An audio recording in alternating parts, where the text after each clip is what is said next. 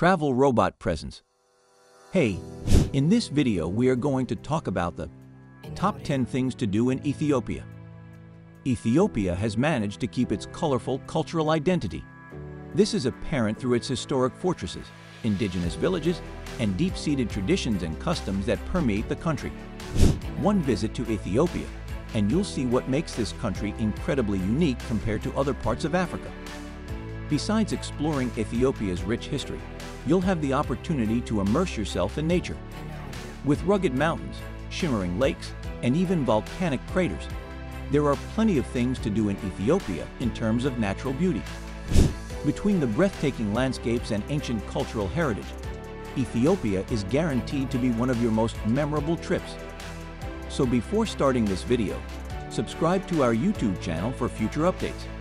Let's get started. Number 10. Lake Tana. As the primary source of the infamous Blue Nile River, Lake Tana is one of the most diverse ecosystems in Africa. It also happens to be the largest lake in Ethiopia, covering 50 miles of the northwestern Ethiopian highlands. The lake is approximately 84 kilometers, 52 miles, long and 66 kilometers, 41 miles, wide, with a maximum depth of 15 meters, 49 feet, and an elevation of 1,788 meters, 5,866 feet.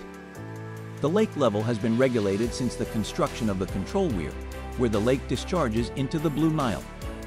A boat trip is the best way to explore the lake, and you'll find many companies and locals offering day trips to visitors. As you cruise through the water, you'll be greeted by an abundance of fish, birds, and even mammals like hippos and soft-shelled turtles. There are also several monasteries and churches to visit that are situated along the coastline. Number 9. Fasil Ghebbi The spectacular Fasil Ghebbi is a unique architectural masterpiece that mixes both European and Nubian styles.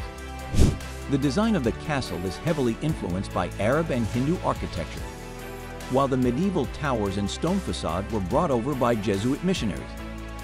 This fortress was built in the 17th century and was used as the main residence for Ethiopian emperors. As you tour the complex, you'll get to walk through the main Fasilides Castle and the Iyasu Eyes Palace. In addition, you'll see the Dawid Eyes Hall, horse stables, an on-site library, and three neighboring churches. Number 8. National Museum of Ethiopia Take a deep dive into Ethiopia's history at the National Museum of Ethiopia. The museum has three different exhibits with thousands of artifacts and archaeological finds on display. The most notable exhibit is the paleoanthropological section, which houses the remains of early hominids or apes. The NME at present has four main exhibition sections. The basement is dedicated to archaeological and paleoanthropological sections. The first floor contains objects from ancient and medieval periods, as well as regalia and memorabilia from former rulers.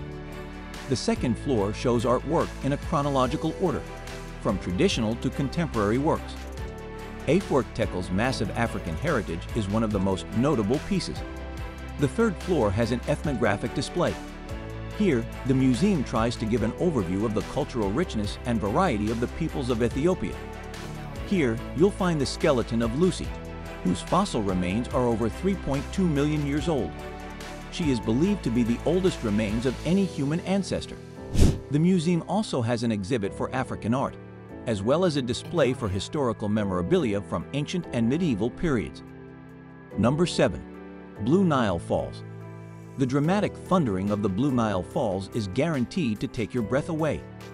Although it's only 138 feet high, this three-stream waterfall is shrouded in a fog of mist and often accompanied by the faint shimmer of rainbows. It consisting of four streams that originally varied from a trickle in the dry season to over 400 meters wide in the rainy season. Getting to the falls can be time-consuming and difficult, so a tour guide is often recommended. You can either make the steep trek to the top viewpoint or take a motorboat to the base of the falls. It's a good idea to avoid going during the dry season from January to March, as there is little water cascading down the falls. Number 6. Omo National Park Considered to be Ethiopia's most remote park, the Omo National Park is a pristine slice of untouched natural beauty. You'll have the chance to explore sprawling grasslands, lush forests, and bubbling hot springs. The park is also home to several indigenous tribes, including the Mursi, Surma, Mogudj, and Dizi people. Although an airstrip was recently built near the park headquarters on the Mui River, this park is not easily reachable. The Lonely Planet Guide Ethiopia and Eritrea describes Omo National Park as Ethiopia's most remote park. However, most people visit Omo National Park for wildlife viewing. Not only will you find buffalo, elephants, zebras, and kudus, but you'll also encounter dangerous predators like cheetahs, lions, and leopards. Number 5. Harar Jugol Wall Surrounded by dry deserts and barren savannas, the Harar Jugol Wall is a historic town located on the eastern side of Ethiopia. This walled city was an important trade center and even served as the capital of the Harari Kingdom from 1520 to 1568. Nowadays, Harar continues to be one of the most sacred Islamic cities in the country, with 82 mosques and over 100 shrines. The walls were built between the 13th and 14th centuries, although some of the mosques inside the old town date back to the 10th century. Stroll through the labyrinth of winding alleys and admire the colorful houses and bustling atmosphere that make Harar incredibly unique. Number 4. Dallol Comprised of muddy hot springs, boiling sulfuric pools, and toxic gas bubbles, the uninhabited cauldron of Dallol holds the record of being the hottest place on the planet. It has an average temperature of 95 degrees Fahrenheit throughout the year. Despite its threatening appearance, it's still possible to visit Dallol and even to hike up to the Erta Ale volcanic crater. Besides the desire to feel the record-holding temperatures, many travelers visit Dallol to admire the unusual landscape. It is known for its unearthly colors and mineral patterns, and the very acidic fluids that discharge from its hydrothermal springs. The colorful canvas of cobalt and turquoise hot springs are juxtaposed against the bright yellow and orange salt deposits, making it a truly jaw-dropping sight. Number 3.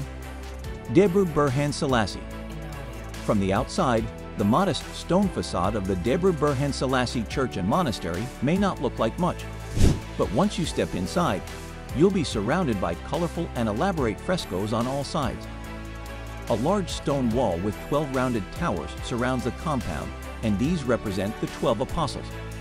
The larger 13th tower entrance gate symbolizes Christ and is shaped to resemble the Lion of Judah. If you have a keen eye, you'll be able to spot the lion's tail above the doorway in the wall west of the church. Flash photography inside the church is forbidden. Number 2. Debre Damo Debre Damo is the name of a flat-top mountain, or Amba, and a 6th century monastery in Tigray region of Ethiopia. The mountain is a steeply rising plateau of trapezoidal shape, about 1,000 by 400 meters, 3,000, 300 by 1,300 feet in dimension. It sits at an elevation of 2,216 meters, 7,270 feet above sea level. The journey to the breathtaking Debre Damo Monastery is almost as impressive as the building itself. It sits on top of a massive plateau and is only accessible by climbing 50 feet along the cliff using a thin leather rope. Once you reach the top, you'll be able to say you've stepped foot in one of the oldest religious buildings in Ethiopia. Today, it's home to over 150 monks who are entirely self-sufficient, which means they grow their own food and raise their own cattle.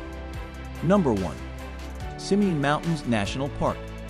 Between the jagged peaks and the lush green valleys, the Simien Mountains National Park in northern Ethiopia is an exotic setting with unique wildlife and breathtaking views on a landscape shaped by nature and traditional agriculture. The natural beauties of this region have always filled visitors from Ethiopia and abroad with awe. Gentle highland ridges at altitudes above 3,600 meters above sea level Amazel, covered with grasses, isolated trees, erica arborea. And the bizarre giant lobelia are found on the high plateau oh, that ends abruptly at 1,000 to 2,000 in deep escarpments.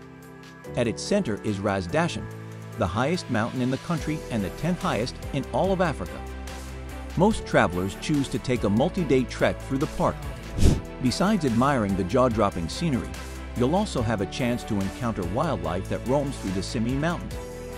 There are over 20 different mammals, including Gelada baboons, caracals, and spotted hyenas. If you're lucky, you might even spot the endangered Walia ibex or Ethiopian wolf. If you love similar content like this, take a look at my other videos.